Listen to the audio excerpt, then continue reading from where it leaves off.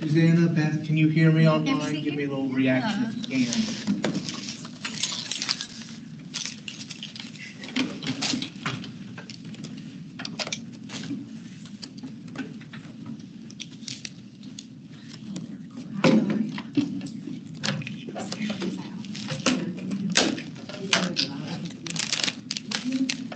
You were joking, I said she's Melissa, and I said, no, Melissa.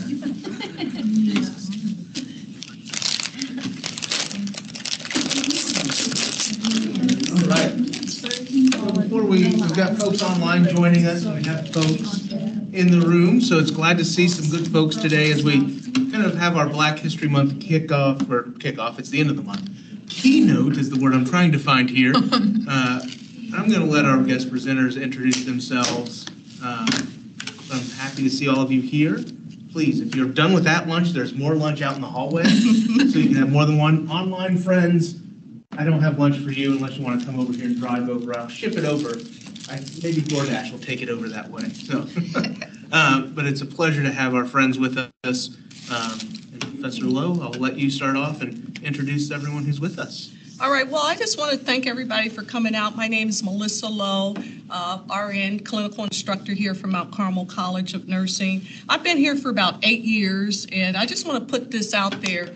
Uh, I retired from OSU, um, OSU Medical Center, and after I retired, I worked for several schools as clinical instructors. And then I wanted to limit it down to one. I worked for Columbus State, uh, Capital, Chamberlain, Mount Carmel, COTC. And um, I didn't really know which school that I wanted to remain with, but I just thought about the students here at Mount Carmel, and I decided Mount Carmel was going to be my place. Oh my God! Dr. Bumgardner. Uh, I decided Mount Carmel was going to be the place that I was going to stay. So anyhow, we have wonderful students here, and I thank you for coming out for the Black History Month. And we just want to present our, our book that we did during COVID. It's the history that we will never forget, and we want nurses to stay in the profession. So that's a little bit about my background. And then we have our president here, and her name is Janice Smith. Yes. Um, And then as we go down um, telling our stories, each one of our uh, colleagues will introduce themselves. Um, But I am the president of the Columbus Black Nurses Association, and I like to start with a prayer.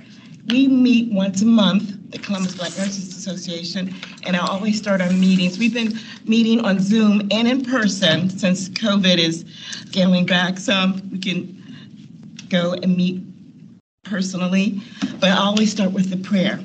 And I say, Lord, as we gather here today, we ask that you will help us make good decisions that will be pleasing to you and everyone. Let us be productive in all areas of our lives as we do the work of helping people. We welcome each one of you to the Black Nurses Association. In Jesus' name, amen. Amen. And I want to tell you a little bit about our organization. We are part of the National Black Nurses Association, and we do mentoring. If you need a professional mentor, if you need a speaker, if you need continuing education, CEUs. We also um, do health screenings. Like several, we did about eight health screenings last year. We did the Black Expo. We did the the um, uh, African American Male Walk. We did the Lift You Up. We did so many health screenings, and when we do our health screenings, we usually do AccuChecks, blood pressure checks, um, body mass weight, and we educate the public. And that's part of what the uh, Columbus Black Nurses Association does. Um, we also um, educate nurses, student nurses, all the way up to PhDs. And we mentor all of them. And um, we recently wrote a book, The Voices of Black Nurses During COVID, Our Challenges and Triumphs during that time. And we, we uh, I think Black history is not just for a month, it's every day. you can celebrate Black history.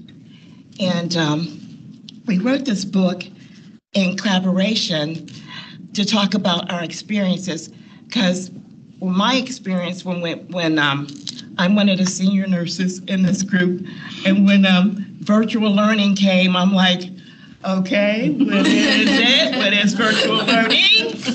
and I, we, we were sitting in a meeting, and our, our dean of the school said, COVID's coming. It's coming our way. And I said, this invisible monster is mm-hmm. coming for all of us. and and we had to shut down. People had to wear masks, wash your hands, get vaccines. A lot of people were resistant because they were scared. But we had to enforce it and talk about it.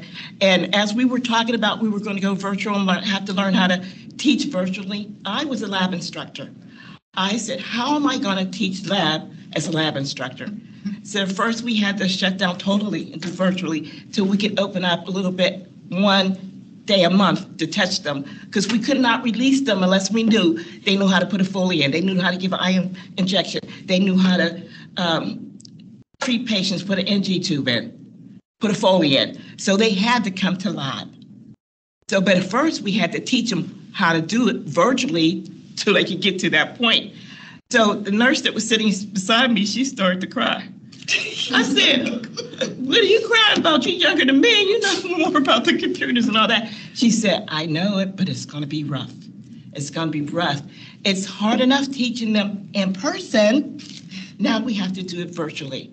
So we had to learn how to do this virtually, show videos, test them, quiz them, get them to interact while you while you're doing virtually. So how do you get them to interact virtually? You test them. You tell them to raise your hand. You call them out. And I did that, and, and it, it was a challenge. And at home, I had two dogs. I had my daughter had a chocolate lab, and I had a um, Rottweiler, and they would lay at my feet while I was teaching. one day, one day I heard snoring. And I thought it was a student with their, their mic on. And here it was the dog. I had to push my feet to wake the dog up. And then I give every hour of teaching because it's hard to sit there virtually. Every hour of teaching, I have to give at least 10 minute break. So one day I gave a 10 minute break and I went to get me some coffee and the chocolate lab sat in a chair, like with her nose on the pad, like she was teaching. And I could hear some students that, that was still off the mic started laughing. I'm like, what are they laughing about? And she was the chocolate lab was sitting at the at my computer. so I was like, oh my goodness. But it was challenging. But the one thing that I wrote in my book is I wrote that I wish everyone could take a class in microbiology so they could know what this monster was like and put your mask on, get your vaccines, protect yourself. And if you don't want to protect yourself, protect people around you. And that was a challenge. And my favorite, my favorite ending to our book, um, the last sentence in our book, it was uh, one of her LPNs because um, the nurses that there's 30 nurses that wrote in this book, and um, they were student nurses, RNs, LPNs, PhDs, everyone. And our student, our our LPN nurse, she wrote the last um, she wrote the last chapter in the book. And the last sentence in the book says, I'm an optimistic person about the future. The storm doesn't always last. This too shall pass. That was the last sentence in the book, and which I love. And also, I um, also said, people need people to survive. And I just want to tell why I became a nurse. Um, I was about 10 years old and I had to get my tonsils out. I have a twin brother, I have twins. Um, and um, let me back up a little bit. Um, I'm a registered nurse. I've been a registered nurse for over 42 years. I have a bachelor's science degree in nursing. Um, I have twins and I have um, two grandchildren. And I started working at um, at Hall State, but when I was uh, 10 years old, I wanted to be a nurse because I had to get my tonsils out, and a black nurse. Back then, it was unusual to see a black nurse. And she said, Janice, I need you to go to your room. I have to give you some medicine. I looked up. I was amazed. I went to my room. She said, I need to. She had a tray. And you know, back there, they had the metal trays with the metal needles and everything. But she didn't say she had to give me a shot. She said, I have to give you some medicine. So I went back to my room and she said, I got to give it in your backside. Gluteus back. I said, okay. She gave me that injection. I could hardly feel it. And she said, you lay there for a few minutes and you could go back to the game room and play. My twin brother was in there. We both were getting our tonsils out. So I got up a few minutes later and I just went in the hallway and I just watched her walk up the hallway. She had that big white cap on, white stiff dressed, white perfect shoes, spotless shoes. And I said, I want to be her when I grow up. I want to be a nurse. And then that's when I started to travel that lane of being a nurse. Then I said, I know I have to do math. I know I have to read books. I love science. So I started doing that and reading medical books and everything. And I saw a picture of a nurse in scrubs and with the mask on and everything going to the OR. So when I was in my pediatric rotation, I had a, a baby who was getting had a hernia. I was getting surgery. So I got to go into surgery with that baby. And I thought, that's what that book, I saw myself there. and I had to stand right by the surgeon. I was so nervous, but my, my instructor said, I want you to study about this hernia surgery in case they ask you any questions. So I did. So sure enough, the surgeon asked me some questions. He picked up a bubble of tissue after he opened, made an incision and opened up the baby. He said, what is this fluid inside this bubble? So everybody, everybody in the OR was looking at the student nurse, looking at me. I said, it's peritoneal fluid. he looked at me, said, you're right. You're gonna be a good nurse. You wanna be an OR nurse? I said, I, am not sure what nurse I want to be yet, but I want to be a nurse. But it was a fabulous experience. And I just want to tell one other little story, and um, then I'll let, let my other nurses talk because I'm going to talk again at the end. Um, I was I told you I was a clinical instructor. I had a student that was on a bubble, pasted on a bubble. She didn't know if she was going to pass or fail. She her her kids were sick that quarter, so she didn't get to study with the study group. So her classmates were saying, "We're going to leave you. We're gonna we're gonna move on to the next quarter." She was so sad because she had to get an 85 on her final to pass. So I had an open a new bottle of Smart Water. I said, "Here, take this Smart Water, and you drink it, and you study and hydrate. It has electrolytes in it, and like you feel good, and you take your final." So the following week, when she came to lab, she was smiling. So I said, How, how'd you do? She said, I got a 90. I only had to get an 85. And so I said, She said, It was the smart water. It was the smart water. I said, I said, No, you had it in you all the time. You just needed some encouragement. Um, the smart water uh, helped hydrate you, but you actually did it. So she was she was happy and pleased. So Very good. I'll let uh, Joyce go next because I'm going to speak again at the end. You can, you can go, Joyce. Um, my name is Joyce. Uh, what can I say? Um, originally, I'm from Kenya. I wasn't going to become a nurse, tell you the truth. I, um, I was going to go to medical school, but then there was a missionary who came in um, to our home, and she was talking about nursing and all the other stuff, and she was a teacher at um, Cedarville University. So to me, I was coming to America. I didn't even care. I was like, okay, I'm coming to America. That's all. I didn't know anything about nursing because little village girl, what do I know? So I came here in January wearing slippers. I didn't know how snow was, how snow looked like or anything, slippers and uh, just a dress. Those guys looked at me like I was crazy.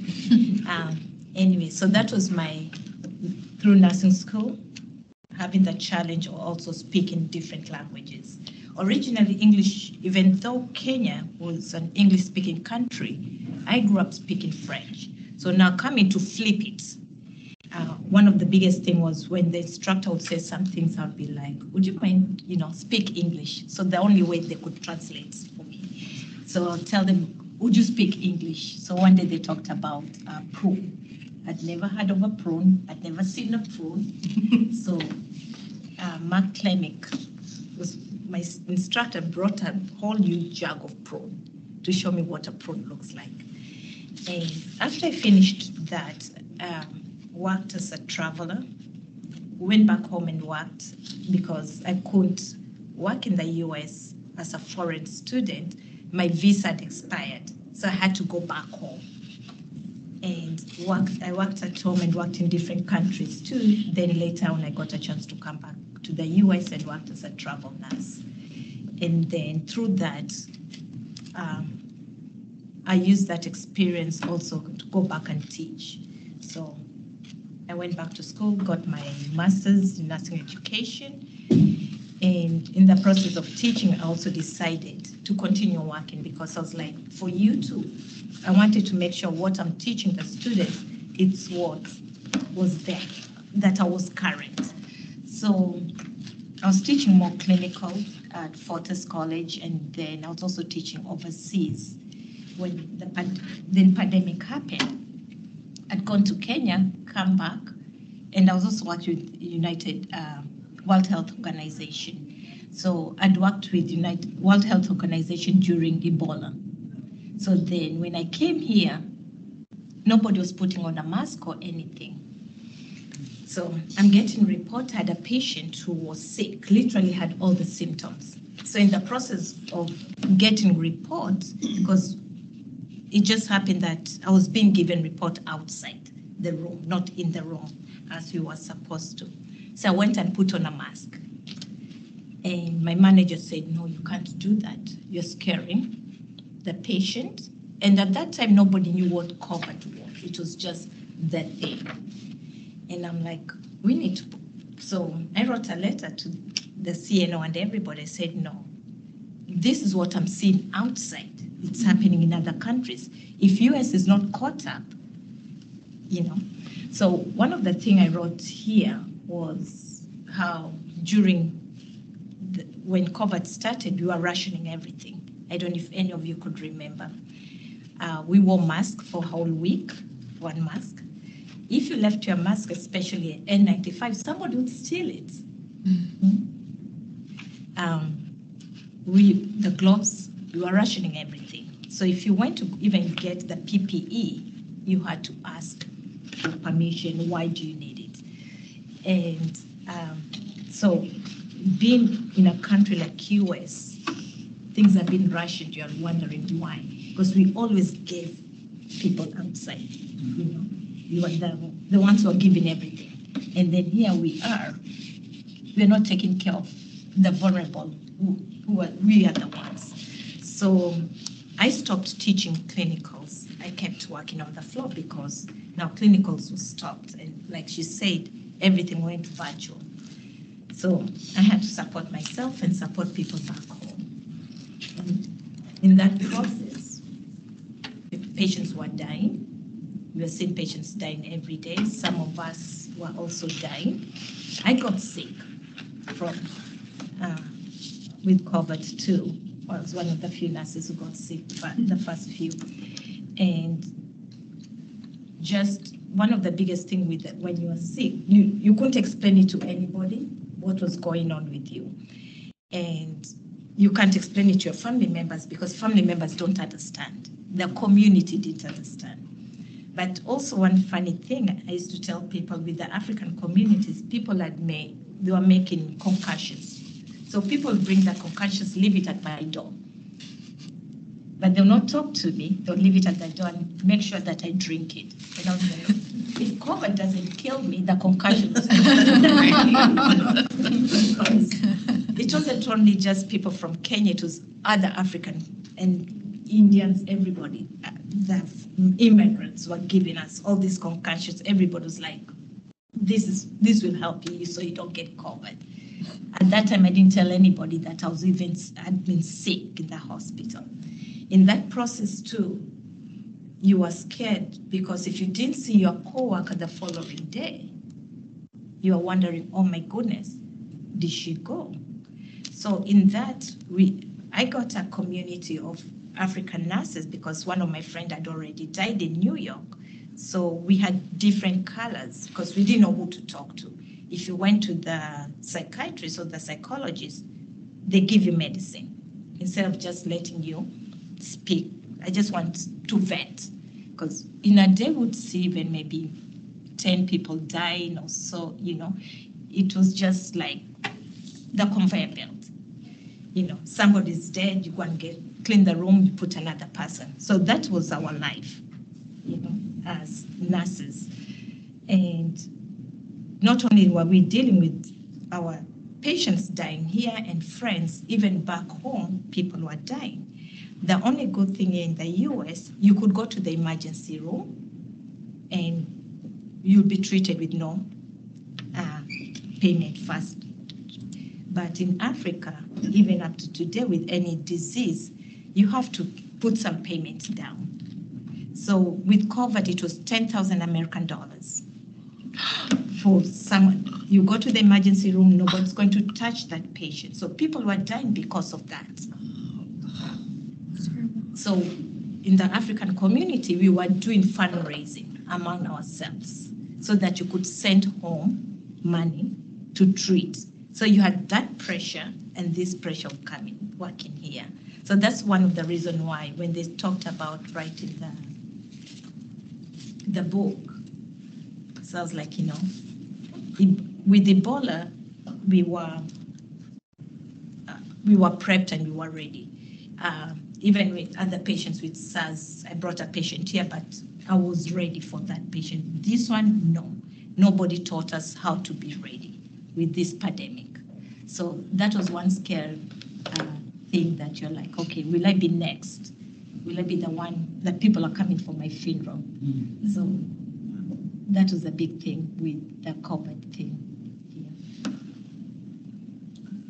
But otherwise, we came through it. Thank God. Thank you, Joyce. Okay, so my name is Stephanie McCoy. I am a clinical education consultant with Becton Dickinson. I am also a graduate of Mount Carmel College of Nursing, 2000, the class of 2003. So it's a great honor to walk back through these hallways after almost 20 years because May of 2003 is when I graduated from here. So it's like 20 years later. I'm like, oh my. So um, the challenges and triumphs as a nurse working for a medical technology company, um, as a clinical education consultant, I work in the infusion professional services. Um, I'm sure you are aware of the Alaris system. Um, the IV pumps that you see a lot in the hospitals um, is that smart pump that has like your large volume pump, your syringe, your PCA, and your end tidal. Well, I'm the educator. So anytime a hospital purchases the Alaris device, if it's in my territory, I cover the Midwest, which is about 17 states. So I do a lot of traveling, weekly travel, prior to the pandemic. Um, but when a customer purchased our device, I will work with the hospital nurse educator, the project manager, the account executive, the pharmacy consultant, and we will create the education for the nurses. So if this hospital has 1,250 nurses. I'm creating that education schedule, making sure that we have enough um, clinical consultants or agency consultants to come help um, support the education and also support the go live after um, prior to them going live with the new device. So um, that is what I currently do. Um, I did work at Riverside Methodist Hospital. I started out at the age of 19 as a patient escort and worked my way up until like 27 years of service, where I um, actually retired from Riverside in um, 2018. So my background as far as a nurse, um, most of the care areas that I worked um, for, it was all around cardiac. So um, once I graduated from Mount Carmel, of course, um, I wanted to work for the Mount Carmel system, but I already had so many years in at Riverside. I just said, let me just stay with Riverside. Because, you know, back then, you know, they would help with, you know, paying for the tuition and stuff here at um, MCCN. So continue working at Riverside in this cardiac step-down unit and eventually move my way up um, cardiac ICU. Uh, worked, um, well, I went to school at University of Phoenix where I received my master's in nursing education. I was also a visiting professor for Chamberlain, so um, during those years. And then before I left Riverside, I was working in their neuroscience infusion center as an infusion nurse.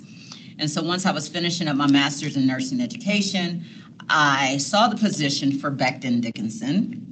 And I was like, well, this is an educator's role, and you know, it requires some traveling. I said, so I, of course, I applied for it. Um, I was offered the position, and I've been with BD ever since. I'm sure you are very familiar with BD because we are like one of the leading um, medical technology companies. If you ever see a Pyxis machine, that's BD. If you all your BD um, syringes, um, if you open up a pack, it says BD, that's Becton Dickinson, your insulin syringes.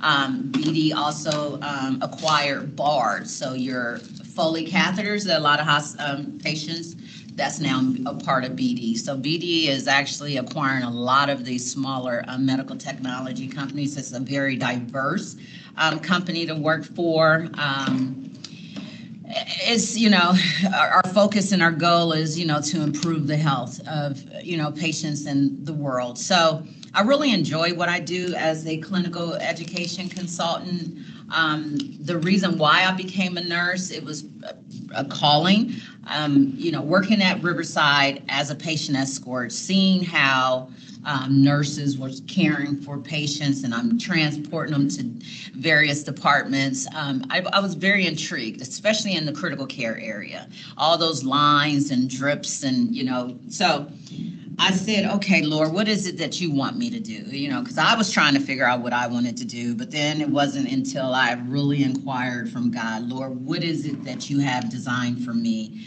You know, I, I got a lot of confirmation. Strangers would come up to me and say, "You look like a registered nurse. You look like a nurse. You look, you know." And I'm like, "Okay, I think that's my confirmation." so, so I enrolled at Columbus State, and I went through um, their program, and then of course I transferred here and graduated in 2003. And so uh, it has been very rewarding. It's truly an awesome profession because there's so many different things that you can do um, in nursing. And now with technology and smart pumps, you may have heard the um, term interoperability. Well, interoperability is when the Alaris system talks to the electronic me- medical records. So if you have Epic or Cerner or Iatrix, those um, those EMR vendors um, working for BD in the infusion professional services and working with the Alaris system. That's another piece of um, nursing that you can use, especially nurses that are interested in nursing informatics. Um, you know, they are definitely looking for those types of nurses to help, you know, create those clinical workflows and and you know read those HL7 messaging so that the pump can communicate to your electronic medical records and you know feed information back and forth. So being on the uh, corporate side of nursing is very different than being at the clinical bedside. It took me a while, you know, to learn the corporate way of doing things, but I still get to interact with um, nurses whenever I am going to different sites. Um, I so I still get to talk to them. Um, I love you know teaching and showing them how to make your day a lot smoother by programming the pump this way, you know, because there's a lot of features of the Alaris system that if you don't get that formal training from um, one of the consultants, you know, we, we learn from our preceptors. And it might not, they may not know the features that's available to make your job a little easier, you know, maybe that delay feature, um, showing, uh, you know, making sure that the head heights are you know, accurate according to what the um, manufacturer recommends. So I really enjoy um, what I do. The pandemic really impacted my uh, my travel, because prior to, I would fly out on Mondays, fly home on Fridays if I was, you know, somewhere in the United States. Um, now, uh, when the pandemic started, we had to change our way of educating. So, of course, we went virtual to where we would actually teach the nurse educator that was assigned to the project how to train their staff on the Alaris system. And we may dial in, and we would dial in remotely and provide that support, you know. So that was a way of, you know, us still continuing to support our customers during the pandemic, but not actually be on site. So now we are starting to get back out there a little more. Customers are able to um, use days that they have purchased whenever they purchase the device um, to have us come back out and retrain nurses. Because if their compliance is low when it comes to programming using guardrails, then they can reach out to us. We and you know we will get that case and then go back out and retrain the nurses. So travel is picking up, um, which is a great thing. But of course, we have to be very cautious and follow whatever the hospital's policies are for vendors. Because I'm considered a vendor when, of course, I go into the um, hospital.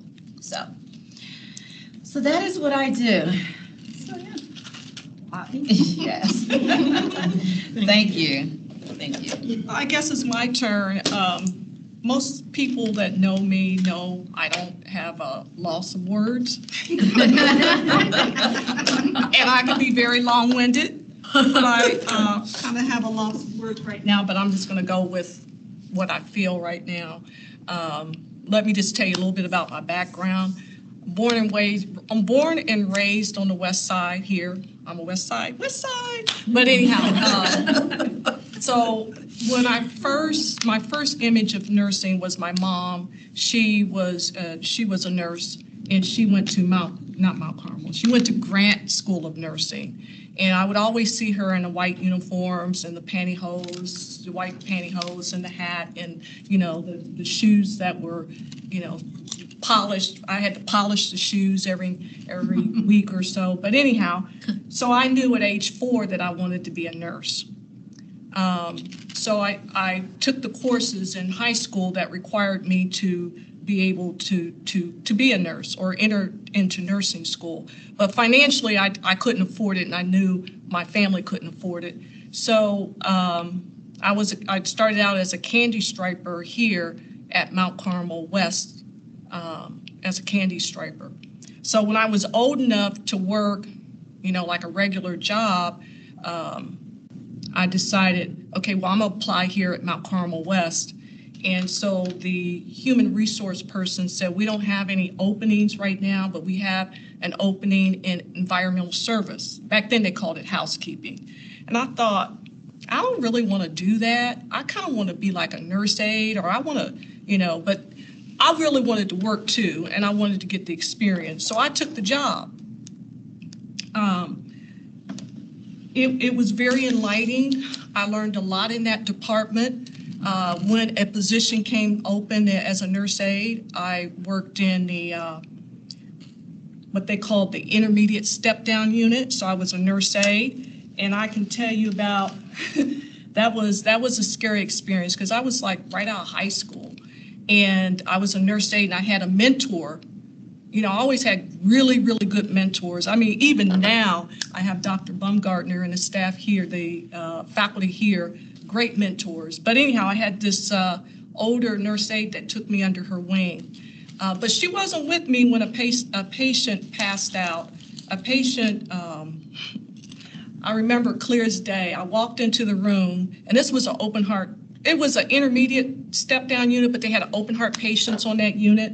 So this patient uh, passed out, and I'm here. I am like 18 or something like that. Never ever saw anybody pass out before, and the patient passed out, and I froze. I didn't know what to do, and I could feel. Excuse me, everybody online. I could feel urine run down my pant leg, and I was just like froze. I didn't know what to do, and so my mentor, she came and she put her arm around me and she they took me out the room. well, I'll never forget that. And it was, it was because of my mentor that I survived that, because I was like done after that. I was like, I don't think this is for me, because, I mean, how could I just like freeze like that? And, um, but there's certain, certain moments in nursing that you'll never forget. And one thing I like about Mount Carmel is that we do what we call reflections. And we, we, we try to do, my, my students know, some of them, like I said, are here. Uh, we try to do our reflections every morning before we start our day, but that really kind of helps us to reflect on how we can become better nurses. So anyhow, I worked for, like I said, Mount Carmel until I went to nursing school. Um, I went to what was called um, C, uh, Columbus Technical Institute, which is Columbus State Community College now. And so I went there, and um, it, it was a pretty, pretty hectic. It was a pretty rigorous uh, program, and um, so my one of my clinical rotations was at Grant Medical Center. And um, I was kind of like a C student because I had to work. And then when I got out, some of you might do this now where you work night shift, then you got to go to class as soon, at eight o'clock as soon as you get off from uh, school, or as soon as you get off from work, you got to go to clinicals, not clinicals, but classroom lecture, and then you would have clinicals. Well, anyhow, I, um, I when I worked at, um, uh, when I had clinicals at Grant, there was this um, nurse I don't know why she took a liking to me, but she was very um, intelligent and she looked really, you know, just professional and was was always willing to, even if I wasn't assigned to her, she would always come and ask how I was doing and everything like that. And then she asked me, she said, you know what, um, you should um, come and join the Columbus Black Nurses Association. I said, well, what is that? And she was telling me about um, you know, how there were mentors there and I could study and, you know, she just, don't know, it was something about her. I just didn't, I just didn't do it when she told me. But there was a uh, junior class, like the class that some of you guys are in now, 309. I wasn't doing very well in that. In fact, um, back then, what we had to do was when we took a test, we uh, got our scores, and after after you took the test, you had to go look at your scores on the wall. Some of you older nurses might remember that. You'd go outside the class, and then you, you look for your name, and then you, oh man. So it was always that anxiety. I think you just get your scores right after you take the test now, but we would go and I look, and I was always like one point behind. So, uh, but to make a long story short, um, this mentor, I mean, she worked with me, she studied with me.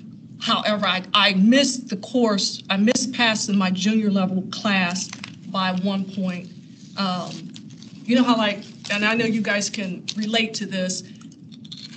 There's like these test questions that you, you know, everybody disputes them and then you get credit. Well, everybody got credit. I didn't get credit, so I missed by one point. So I had to retake uh, my junior level, which is your 309 now. I had to repeat.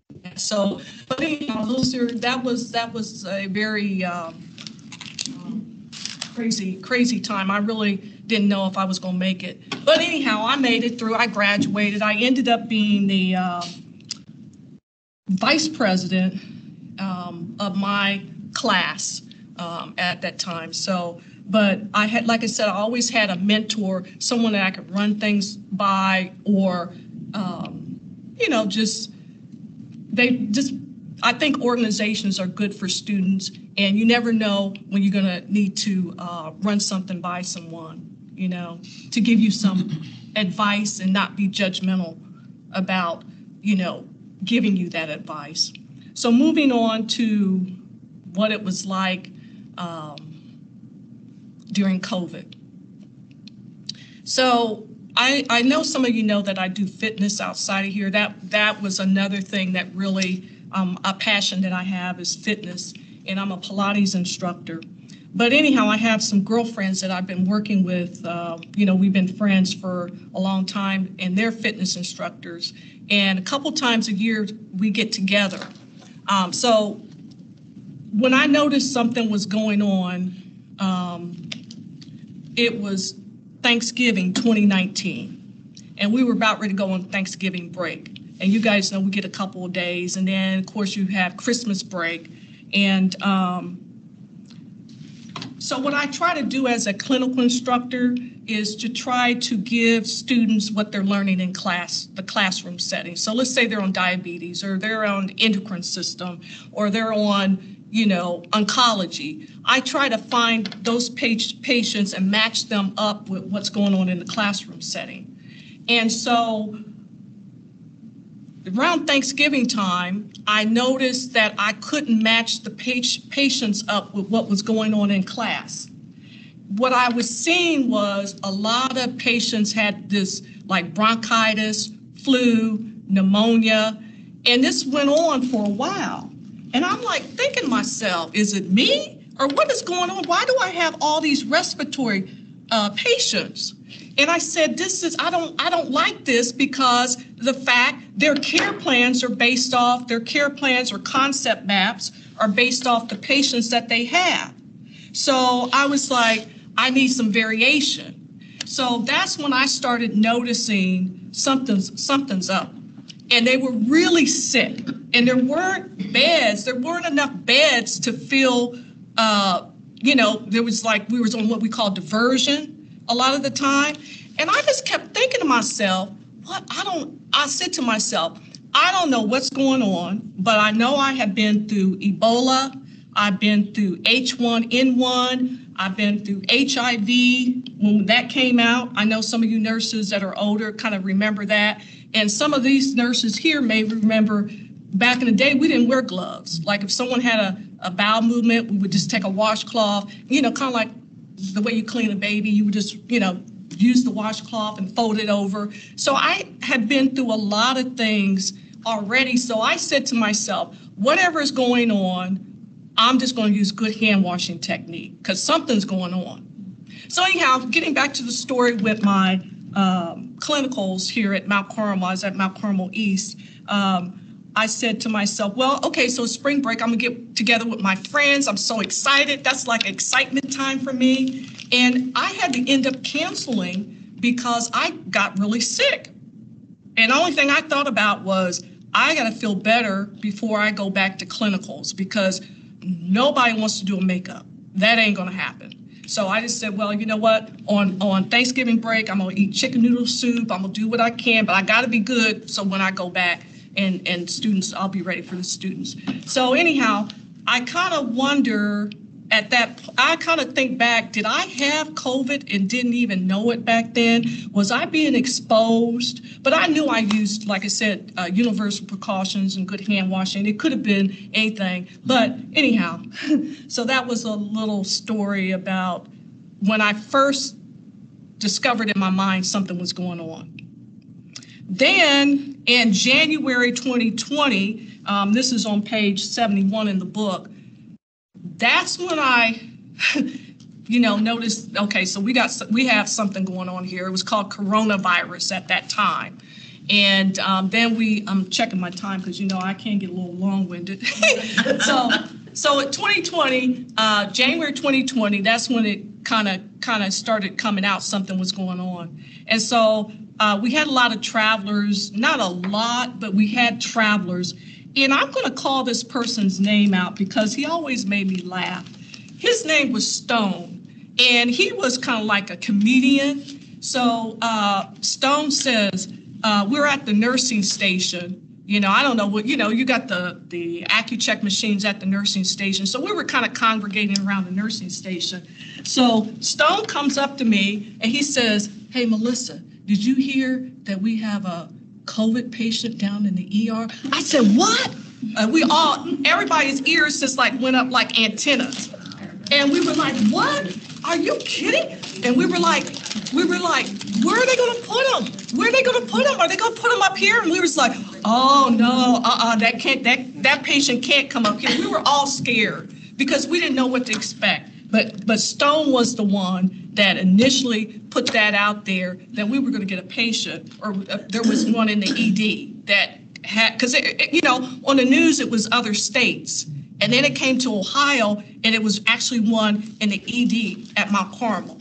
I was like, oh my God, I don't, I, you know, I'm not ready for this. But anyhow, so uh, that week passed, and then we came back um, we came back, and then the whole unit, my unit turned into a COVID unit. I was like, are you kidding me? And so it, it was weird walking into a hospital setting and you saw isolation carts down the hall. It was quiet. You could hear a pin drop.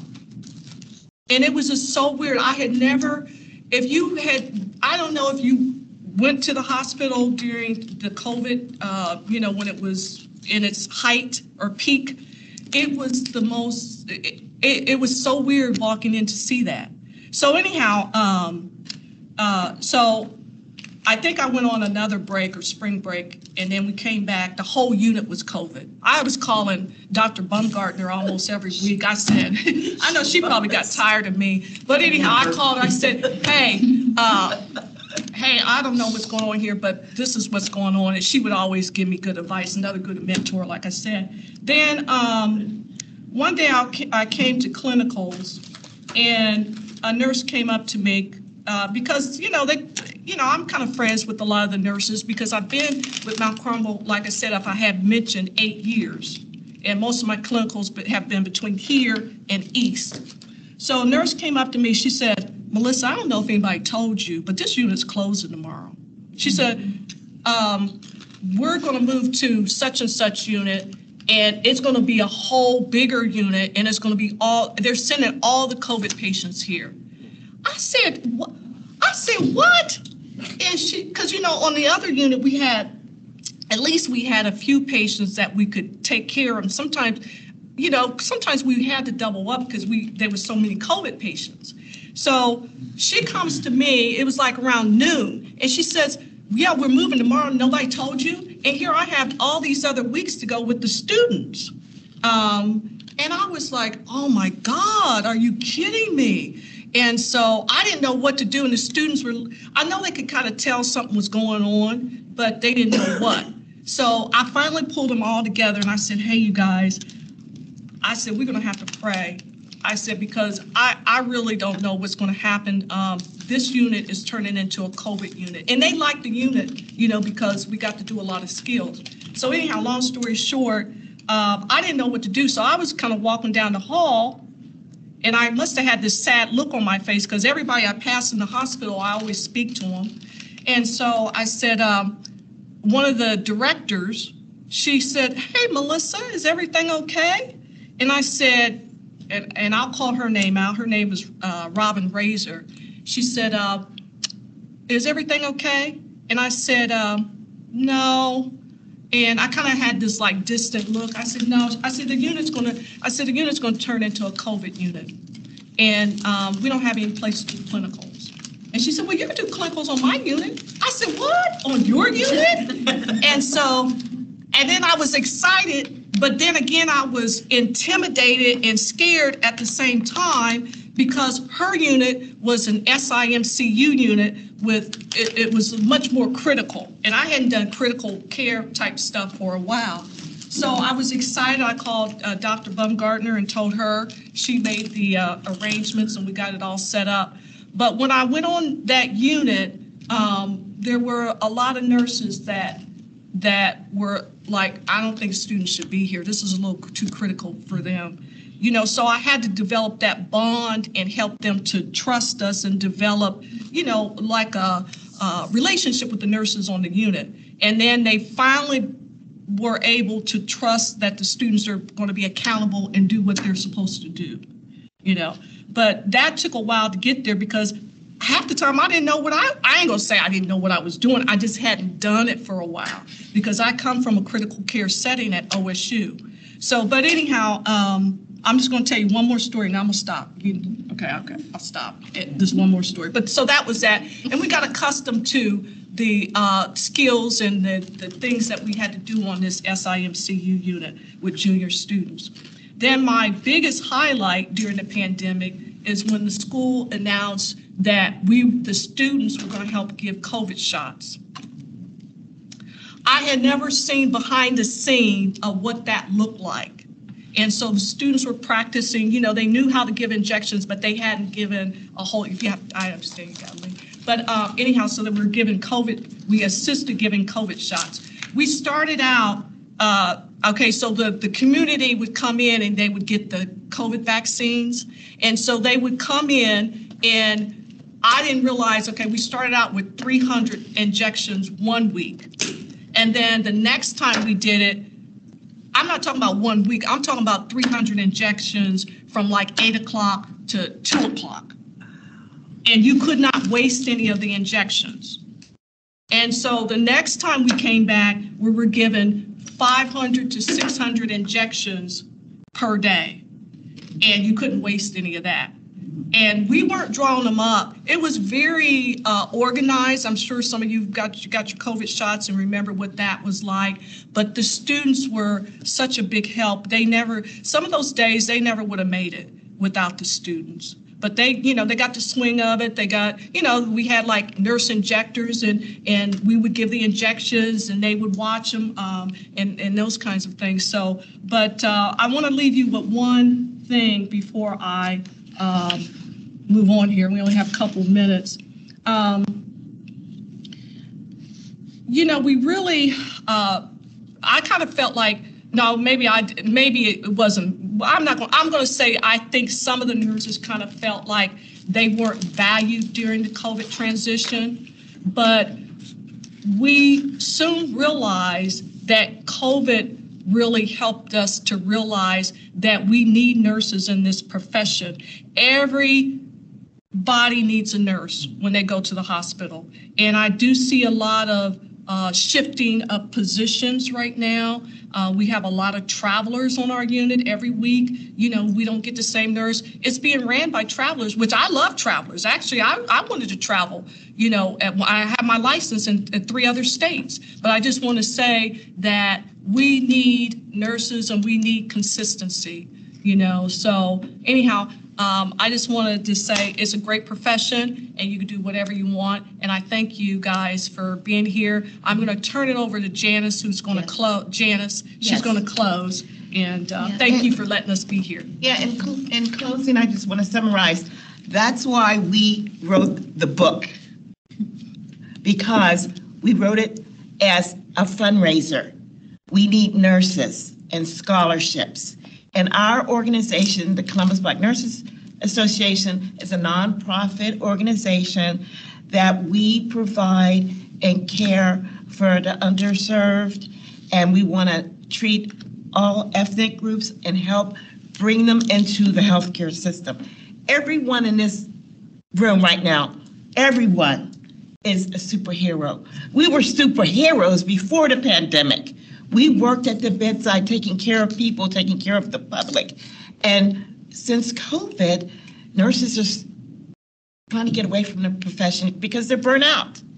So we're trying to raise money um, to bring more nurses and provide scholarships and mentor and educate.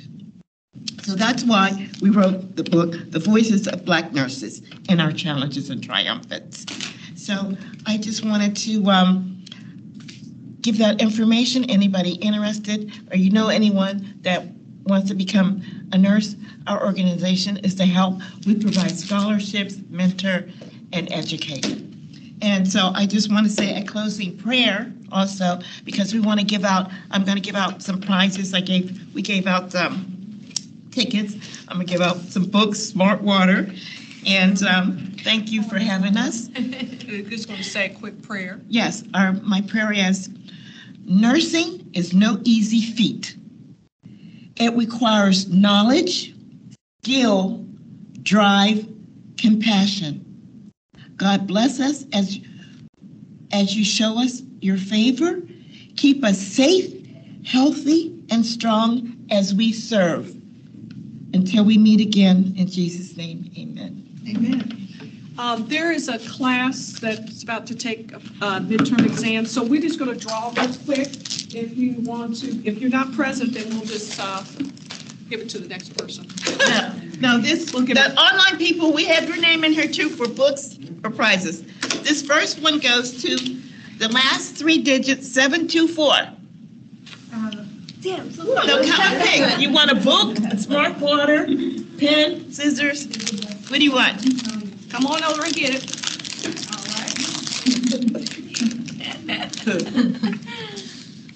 The next one is 904. That's me. Yay. All right. You get what you want. A book, smart water, There's pens. Need more fine if you take this smart water. Now that we know what's for you. oh, that's right. I forgot. She gets like hundreds on all exams. I forgot. The next one is nine 05.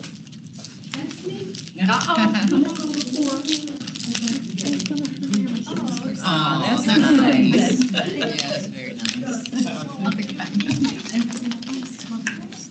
All right.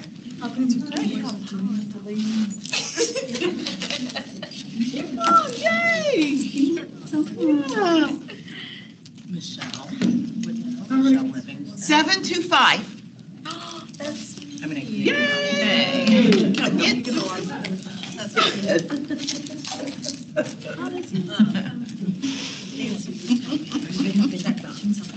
Did, uh, did you, ha- did anyone have any questions before you leave? Do you have any questions for our organization?